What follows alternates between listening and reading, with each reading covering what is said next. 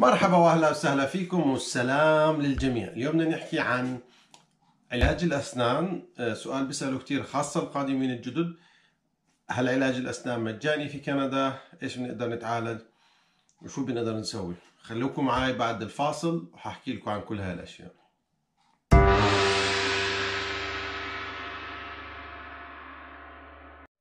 هذا الفيديو برعاية مكتب عمرو لخدمات الهجرة. مكتب عمرو لخدمات الهجرة مرخص من قبل الحكومة الكندية ومختصون بجميع قضايا الهجرة والزيارات إلى كندا. طبعا اللي حاحكي أنا اليوم آه، عن علاج الأسنان في مقاطعتين كيبيك وانتاريو اللي معرفتي فيهم الكبرى. المقاطعات الثانية قد يكون الوضع يختلف فعشان هيك لازم تراجعوا المعلومات في المقاطعة. الآن في مقاطعة كيبيك الأطفال تحت عمر 16 سنة عندهم علاج أسنان مجاني آه، وهذا مؤمن من الحكومة بغض النظر عن الدخل. الكبار في السن أو اللي بعد 16 آه، لازم آه، علاج الأسنان مش مجاني إلا في حالة واحدة. إذا كانوا بأخذوا مساعدات من الحكومة اللي إحنا بنسويها بنسميها welfare أو social assistance إذا كان بأخذ هذه المساعدات بقدر يروح على أطباء معينين بعطوه إياهم هم لستة آه، من المركز تبع ال social assistance وبروح عليهم. وعادة العلاج بيكون فقط للخلع. أو الحشوات البسيطة مش العصب ولا التركيبات ولا التقويم. في مقاطعة أنتاريو شوي بيختلف الموضوع بالنسبة للصغار الكبار نفس الشيء بس الصغار بيختلف شوي. الصغار غير مغطيين ولا الكبار مغطيين بال... بتأمين الأسنان. إلا صغار في حالة واحدة أقل من 16 آه، سنة إذا كان أهلهم دخلهم متدني بتقدموا بطلب لشغلة اسمها Healthy Smile Ontario Healthy Smile Ontario بتقدروا تعملوا لها Healthy معناها صحي. Smile ضحكة Ontario اللي طلب سهل جدا بتقدموا له ببعثوا لهم Healthy Smile كارد وهذا الكارد بعطوهم برضه أسماء الأطباء اللي ممكن يروحوهم في في المكان اللي عندهم أو في القريب منهم.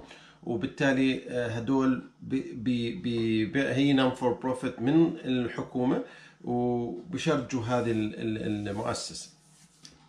يعني بالنسبة للكبار الكبار آه، تقريبا زي مقاطعة كيبيك الكل غير مؤمن إلا في حالة واحدة انك كان عندك social assistance أو welfare أو أنت قادم جديد من ال refugees بعطوهم ورقة خاصة بروحوا على أطباء معينين. برضو لحالات البسيطة اللي هي الخلع والحشوات البسيطة أما العصب والتركيب والتقويم أو الزراعة مش داخلة في هذا الشيء. سؤال مهم جدا وأتوقع أني حاولت أجاوب عليه بقدر الاستطاع. وإن شاء الله تضل أسنانكم صحية. أهم إشي نصيحتي لكل واحد بده يجي على كندا شيك أسنانك صلح كل إشي بتقدر. خاصة في بلادنا العربية أرخص كتير من هون. هون آه، حشوة العصب بتكلف مينيموم ألف دولار.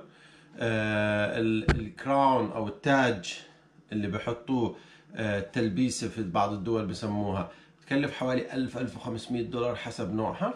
ال ال الحشوات هون بتكلف 400 300 حسب برضه نوعها. الخلع نفس الإشي يمكن أقل شوية. ف حاول تسوي كل أسنانك نظف أسنانك أسنان أولادك أسنان مرتك. هاي من الشغلات المهمة. يمكن ما حكينا عليها في أول فيديو بس اليوم بذكر فيها إنه لازم تسويها قبل ما تيجي. تشيك كل إشي بأسنانك عشان لا سمح الله. إذا في إشي تعالجه قبل ما تيجي تكون ضامن حالك لمدة سنة على الأقل إنك مش حتحتاج تدفع أي إشي على الأسنان. نراكم في حلقة قادمة وشكرا لكم كثير ويعطيكم العافية والسلام السلام عليكم. لا تنسوا الإعجاب بالفيديو والاشتراك في القناة. تشجيعا لنا لنستمر بنشر المزيد إن شاء الله. من فضلك فعل الجرس ليصلك كل